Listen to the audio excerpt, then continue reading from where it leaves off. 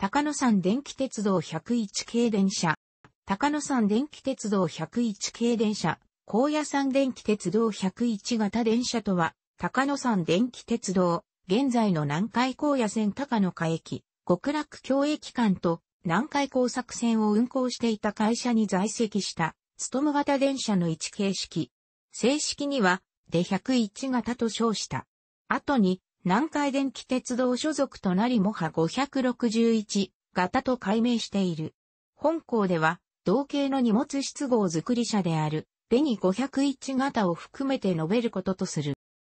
高野山電気鉄道は1928年6月に南海鉄道、南海電気鉄道の前身、高野線に接続する高野下、神山の部分開業に伴い営業を開始し、翌年神谷、極楽教官を開業、全通している。この営業開始に備えて1928年6月に日本車両製造本店にて、で101系8両、で101から108と、でに501系2両、でに501.502が製作された。この路線は50パーミルの急勾配と急曲線が連続するため、これに対応した特殊装備を多く備えていたのが特徴である。開業当初は、高野山電気鉄道線の河川電圧が直流 1500V であったため 1500V 専用車として新造されたが、1932年に南海鉄道との相互乗り入れを実施し、南波駅まで乗り入れるにあたり、高野山電気鉄道線全線の河川電圧が南海と同じ直流 00V に引き下げられることとなったため、600V 専用車に改造された。当時まだ珍しかった全構成車体であった。初期の構成車の特徴であるリベットを多用、屋根も深くいかめしい印象がある車体で、いかにも険しい山登りをする電車という風情であった。車体長は15メートル級ながら、自長は全構成車体の採用と特殊装備のために、車体重量が14.5から15トン、自重トータルでは36トンと、車体寸法の割に重くなった。窓配置は D1D10D1D で101系、または DD1D9D1D で2 501系、荷物室は高野下方、側窓は一段加工式であった。当時の郊外電車としては珍しく前室式の両運転台装備で、正面は荷物室側除いて貫通路付けの3枚、窓、荷物室側のみ、非貫通の3枚窓であった。山岳区間走行に備えて、大きなヘッドライトを屋根に左右に分けて2個装備していたのが大きな特徴で、煮詰め玉などのあだ名が付けられた。主電動機は、ゼネラルエレクトリック製 GE-281A を各台車に2機ずつ、計4機、釣り掛け式で走化する。波数比は62、24イコール2.58である。制御機は総括制御対応の間接式で、電力改正制動機能を備えた、ドイツアイグ社製のワー制御機を搭載する。ワー制御機は、立候時に直巻接続となっている主電動機の電気子と境時を制動時に回路を切り替えて分巻接続とすることで改正制動を実現する回路構成である。この方式は構造が単純で、改正効率はそれほど高くはないが、改正制動執行時にはそのまま発電ブレーキに切り替わるという山岳線区での使用に公的な特性を備えていた。これにより、本形式は日本初の電力改正ブレーキ搭載車両となった。なお、この制御機は後に東洋電気製造の手によってワー -11.17 として国産化され、これらは以後高野線山岳区間用車の標準制御機として2万1000系ツムカーの増備が進むまで長く徴用されることとなった。台車は軸バネ式の汽車製造 BW54 から18リットルで、これは型番が示すように本来は低速な路面電車用として設計されたボールドウィン L 型台車の設計を基本とする模倣品の一つである。もっとも、これは山岳専用というその使用目的から、高野山電気鉄道の親会社であった南海鉄道の電語型などに採用された JG ブリル社製ブリル 77E2 に類似の構造を備えた台車があえて求められ、特に設計されたものである。オリジナルとなった電語形用のブリル 77E には、曲線通過時の左右の枕バネの不当沈下などに、慮して、中央のボルスタブを強化し、側受けの間隔を最大限拡幅。これに合わせて、ブリル 77E 系標準のトラリオンを省略するなど、曲線の続く勾配線区間での使用に備えて設計されたものであり、枕バネの板バネ枚数を通常より多い10枚構成としていたことと合わせ、これは後に同社が充当された四線区運用においては明らかに過剰な装備であった。汽車製造 BW54 から18リットルの設計はボールドウィン L 型台車ベースながら、その対抗機種であり、お手本ともなったブリル 77E2 の特色を色濃く受け継いでおり、その基本的な構成はほぼ一致していた。しかしながら、これらの台車はいずれも、原設計が本来低床、低速の路面電車用として開発されたものであって、高速運転には全く適さず、特に本形式が装着したものは、河川電圧高圧とこれに伴う難波乗り入れの開始後に閉館戦争工事の動揺が著しいことが指摘された。このため、1937年に全車とも汽車製造 K16A を申請の上で交換され、旧台車は一旦汽車製造に戻された後、川崎車両と木並車両製造に転売され、そこから京福福井支社、武蔵野、静岡の各社へ納入された。新たに用意された K16A は従来も8201型などにも大量採用されていた当時の南海鉄道の標準台車の一つである。それが極楽橋直通に何ら問題なく使用されたという事実が示す通り、伝後系計画時の南海鉄道及び本形式設計時における高野山電気鉄道の技術人による急勾配区間に対する配慮は、結果的には気有であったということになる。制御機による改正制度を補完する空気ブレーキは、クノール社製の AMF 自動空気ブレーキが採用された。この時代は、ブレーキの電空動機機構が開発されておらず、ある程度までマスコン操作による改正、発電ブレーキで減速した後、マスコンのノッチを戻し、これとほぼ同じタイミングで、ブレーキ弁を操作して空気ブレーキで停車するという職人芸めいた煩雑な操作を行う必要があり、一般の電気鉄道各社では乗務員から嫌われて、非常時外空性のみを使用する例が多く見られた。しかし、50%ミル前後の急勾配区間が連続する高野山電気鉄道の場合、焼きはめタイヤが一般に使用されていた当時の状況では、エアブレーキのみの常用は、ブレーキ臭の発熱による、大使館、ひいては脱線事故の原因となる恐れがあった。また、補助空気ための空気圧低下による制動能力不足が発生する恐れもあったことから、空製の連続使用は保安上禁止せざるを得ず、この手動によるブレーキの電空切り替えを恒常的に行わざるを得ない状況にあった。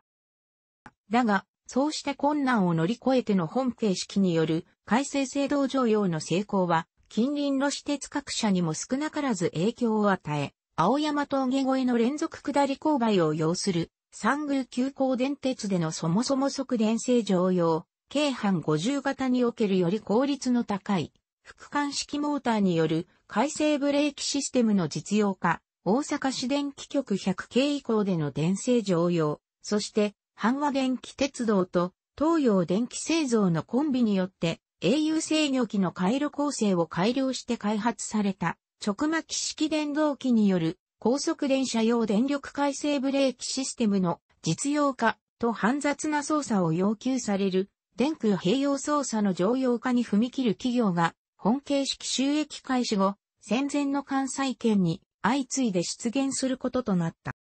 なお、本形式の場合は、さらに急勾配区間での非常用として、電磁気上ブレーキも装備して万全を期していた。また、ブレーキに空気圧を供給する空気圧縮機は、ブレーキと同じクノール社の2段圧縮式のものであった。概要に記した通り、1932年に600、ボルト専用車への改造が行われた。主電動機、制御機、空気ブレーキ、空気圧縮機は変更されなかったが、電圧高圧により、主電動機の端子電圧が 600V に高圧れ、これにより1時間定格出力も 42kW となった。また、この際電磁気上ブレーキは撤去された。台車は当初そのままであったが、前述の通り1937年に K16A に交換された。新造時は高野海南の自社線内のみの運行であったが、南海鉄道への乗り入れ開始後は、南波、極楽橋間の直通運転、通称、大運転の主力となった。1943年に南海鉄道の境東車庫の火災で、出101が全焼したが、焼け残った構え体を利用して復旧された。ただし、資材不足の時期であったことから、反光性車体、片隅式運転台、ヘッドライト1個となった。このほか戦時中に、で105.107が正面衝突により破損して走行不能となるといったトラブルが発生したが、全車戦災に遭うことなく、戦時を乗り切った。この間1944年に南海鉄道が戦時統合により近畿日本鉄道、近鉄の南波営業局となっていたが、高野山電気鉄道は統合の対象外であったため、相互乗り入れの相手社名が変わっただけであった。終戦時は、相互乗り入れは縮小され、近鉄の橋本駅、極楽京駅間の折り返し運転に使用されていた。戦後になって1946年に、で103.104の2両が、南波営業局の車両不足を理由として近鉄に移籍し、モハ561系561.56に、いずれも初代となった。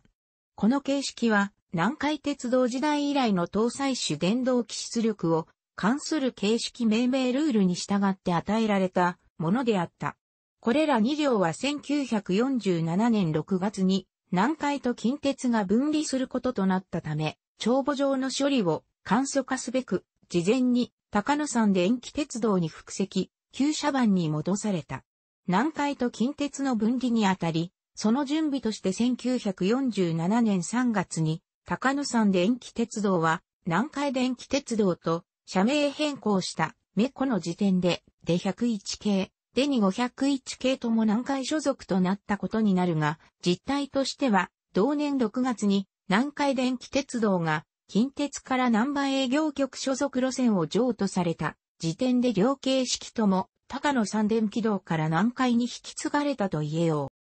う。南海に引き継がれ、高野線所属となってからも、しばらく両形式とも以前の形式のままであったが、1949年にで101型のみもは561型に改められた。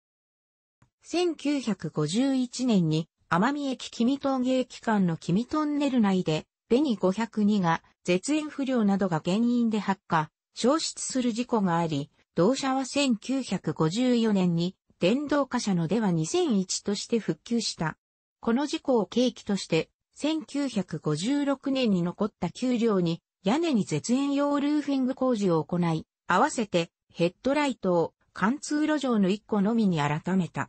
これは2個のヘッドライトが直列回路で繋がれており、いずれか1個が切れただけで2個とも切れてしまうためであった。また1953年には自動空気ブレーキを M3 導弁を使用するアームブレーキに変更した。その他、変更時期は不明であるが2段圧縮式の空気、圧縮機も通常形の1段圧縮のものに取り替えられていい。運用面では、ナンバー直通列車は大出力電動機を装備し、より高性能なモハ1251型に譲り、足が遅く同形式と共通運用に充当できない本形式は旧高野山電気鉄道線そのものである高野下極楽橋間の区間運転用とされた。1963年から1964年にかけて給料全車とも更新修繕を施行された。制御機が廃車となった木造車からの発生品であるゼネラルエレクトリック製 PC-14A に変更されて電力改正ブレーキが用不能となり高野海南の急勾配区間への入線が不可能となった。また外反張り替えが実施されたため、車体からリベットがなくなり、外観の印象が変わった。デニ501型で唯一残っていたデニ501については、荷物室を撤去しても、ハ561型に編入、既存車の続版としても、ハ569と不番されたが、荷物室のあったナンバー4の非貫通運転台は、そのままであ。以後は給料とも、通称塩見橋線の塩見橋駅住吉、東駅間の折り返し列車専用となった。しかし、本形式は南海の標準軽車両ではないことから、モハ1501型に続いて、トータの対象となった。モハ561.564、565.567、568は1968年から1969年にかけて老朽廃車、566は1968年に天下茶屋駅構内で1万1001系電車と正面衝突して破損し、翌年廃車。563は1968年に電動化車である。では2002に改造され車用品輸送に使用されたが、これも1971年に自動車輸送に切り替えられたため用途を失い、デニ502の復旧車である。では2001は、高野線郵便、手荷物輸送に従事していたが、1971年に高野線の郵便、手荷物輸送が廃止になったため、前述のでは2002とともに1972年に廃車となった。モハ561型で最後まで南海に残された562.569の2両は1969年に水間鉄道に譲渡され同社のモハ364型364.365となった。水間鉄道での使用期間は短く、南海からのモハ1201系の対応、後譲渡に伴いわずか数年で廃車となっている。楽しくご覧になりましたら、購読と良いです。クリックしてください。